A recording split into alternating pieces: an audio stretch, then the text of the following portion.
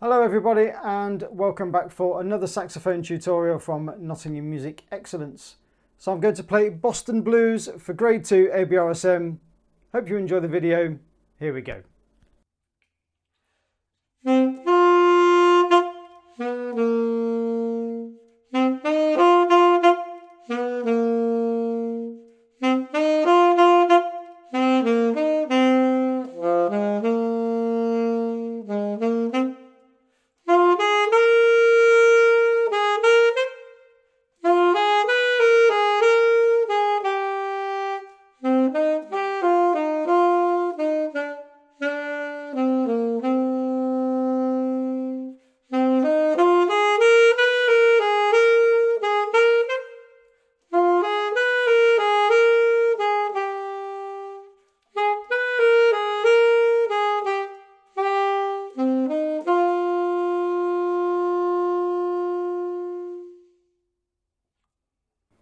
Okay, so you've heard the music. Let's say a few words about the piece of music and what you need to bring out in this to make it sound really awesome.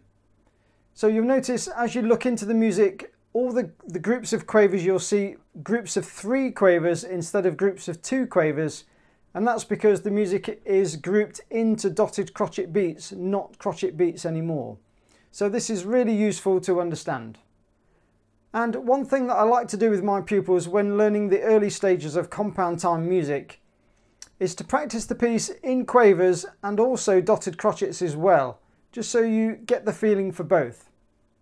So in this case for the Boston Blues, I would practice it with a metronome at a fairly slow speed, somewhere between 56 and 60 will give you a really good starting point for learning to play this piece really accurately. So as you're playing the music through, make sure you're aware of all the underlying quavers that are perhaps in the background of the music or in the background of your thinking. And try to have that ticking, ticking along constantly so you can really stay in time accurately. This kind of reminds me a little bit of, of years ago in the earlier days of my teaching that um, I used to play Greensleeves with a lot of pupils for grade two, probably with a million pupils actually. And I thought that equally was a really good piece for setting for those early stages of learning compound time. But I think this is, is pretty good too. Um, just perhaps slightly slower this one and you get a bit more of a, a jazzy feel to this one as well with having that blues in there. And you'll notice as well that the dynamics are a little bit lacking in this. Um, there's an MF marked at the beginning and then just uh, one or two little sort of crescendos and diminuendos along the way, but not a lot of dynamic markings. So I think there's scope here to add your own sort of dynamic markings in a little bit and add your own points of interest in there. Even within that opening phrase, I think you can have some contrasts there. So I like to play. So treat that as like kind of the question and then to the answer to that would be and then come back in again and then answer that again. So you get the idea. So even within those little phrases, you can have contrasts and, and interesting things that you can put in there. And then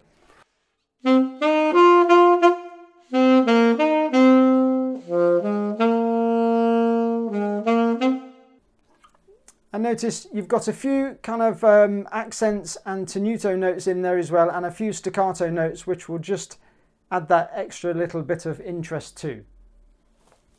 So they're on bar 7 to 8.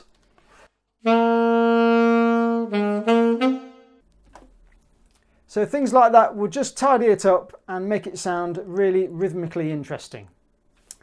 And for me, the piece reaches a bit of a high point. I like to just put a bit more dynamic in there at around 16, 17, 18, 19, and perhaps just give this a little bit more sound.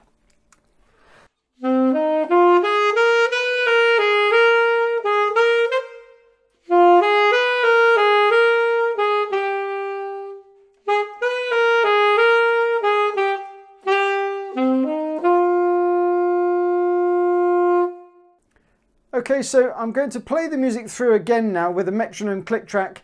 See if you can play along with me and keep the music really, really accurate. Here we go. One, two, one, two.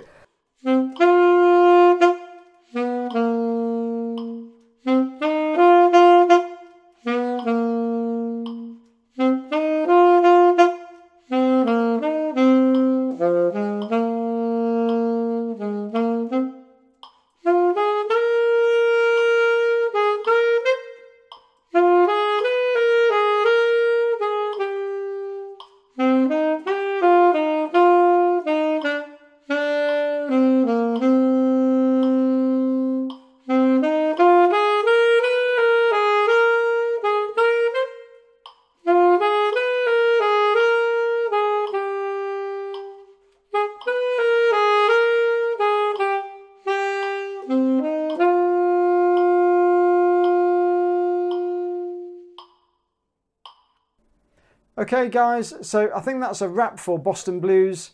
Hope you enjoyed the video. If you did find it useful then of course click that like button, leave me a comment below and let me know how you're getting on with grade 2. But that's it for this one. I'll see you on the next video. Bye!